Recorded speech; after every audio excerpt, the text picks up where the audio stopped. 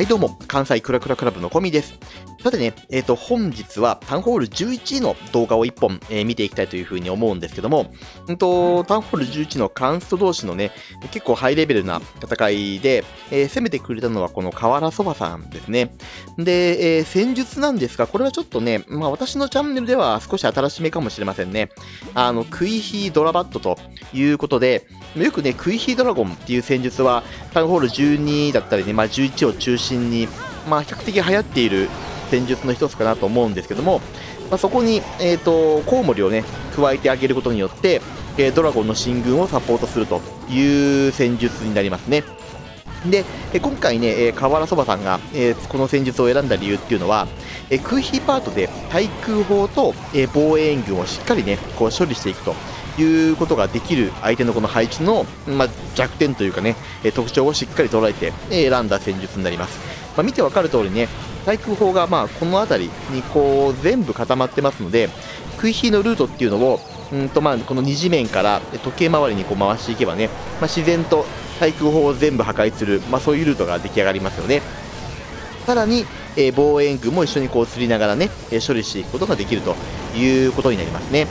で、えーと、もう1個ね、この食い火をするにあたって、まあ、重要なポイントは、火力がね、集中しすぎていないっていうことですね。で、えー、見てみると、まあ、最低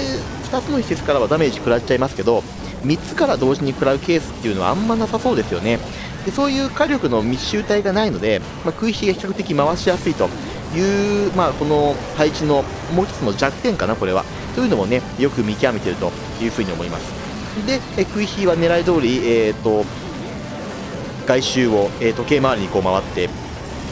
て、え、ドラゴン、まあ、ドラバットかな、ドラバット部隊で、え、一気にね、えーと、画面の上側の方をこう削っていきますね。で今ここ、え、コウモリを出していって、え、コウモリでどんどんどんどん、え、ドラゴンの、え、進軍をサポートしていきますね。でさらにね、相手のこの、え、ウィストがあるんですけども、まあ、そこはトームを使いながらさらにドラゴンがね、え、合わせて攻めていくことによってしっかり、え、このゾーンっていうのをコウモリが突破してい、えー、くことができてますで、えー、対空砲はもう全部ね、クイーンが折ってくれて、ドラゴンとあとバルーン部隊っていうのは、えもうね、一気に勢いに乗って、最後の防衛施設までもう駆け抜けていくと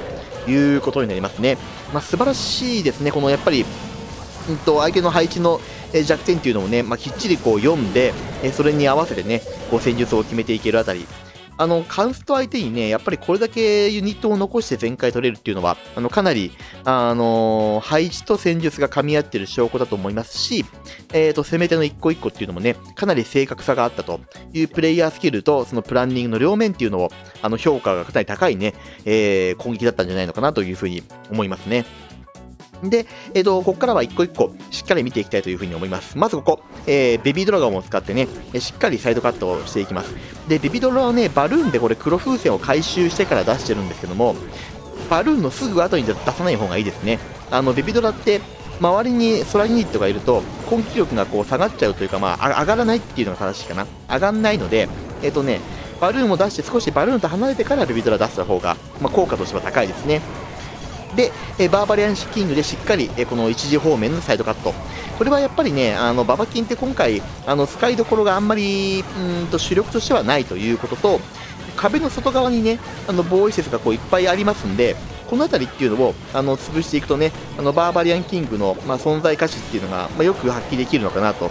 いうふうに思いますね。でおそらくここは壁の中にこう突っ込ませようと思ったんでしょうけど、今回に限ってはこれあの壁から出たことがある意味運良かったかもしれないですね。結果的にはそれがあのプラスの効果を生んでるというふうに思ってます。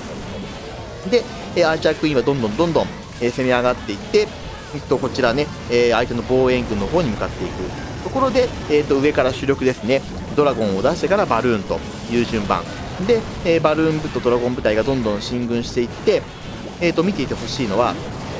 えーと、最初のミストを壊したあたりでコウモリが出ます。でその前にねこの援軍処理これフリーズ使ってますよね。これが結構ねすごいです。あのネクロマンサーとかだとあのフリーズ使ってる間にね、まあ、スケルトンに足止めされて、えー、全部援軍処理しきれないっていうパターンもあると思うんですけどドラゴンとかね、あのー、アイゴレとかだったらあと、ポイズンを使うよりもフリーズを使っちゃった方がいいのかもしれませんね。あの、周辺の防衛説も一緒に凍るので、あの、突破がしやすくなるというふうに思いますね。で、ここはもうコウモリの呪文を一気に、え、ー、と、今、壁の外からこう放っていきましたね。で、こうすることによって、あの、なていうのかな、コウモリが、え、ー、と、一点に集中していかない、比較的こうばらけるので、あの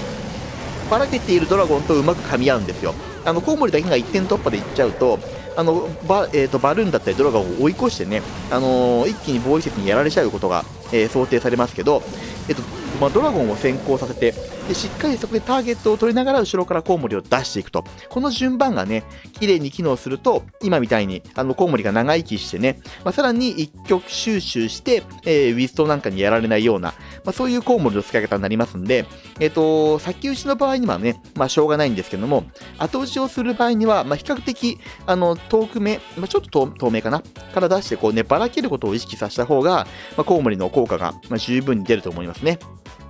はい。というところでね、えっ、ー、と、非常に面白い戦術だったと思いますんで、えー、紹介させていただきましたが、えー、本日はこの辺りで、え失礼したいと思います。よろしければグッドボタン、チャンネル登録、そして今後もご視聴どうぞよろしくお願いいたします。では、え本日はこの辺りで失礼いたします。バイバイ。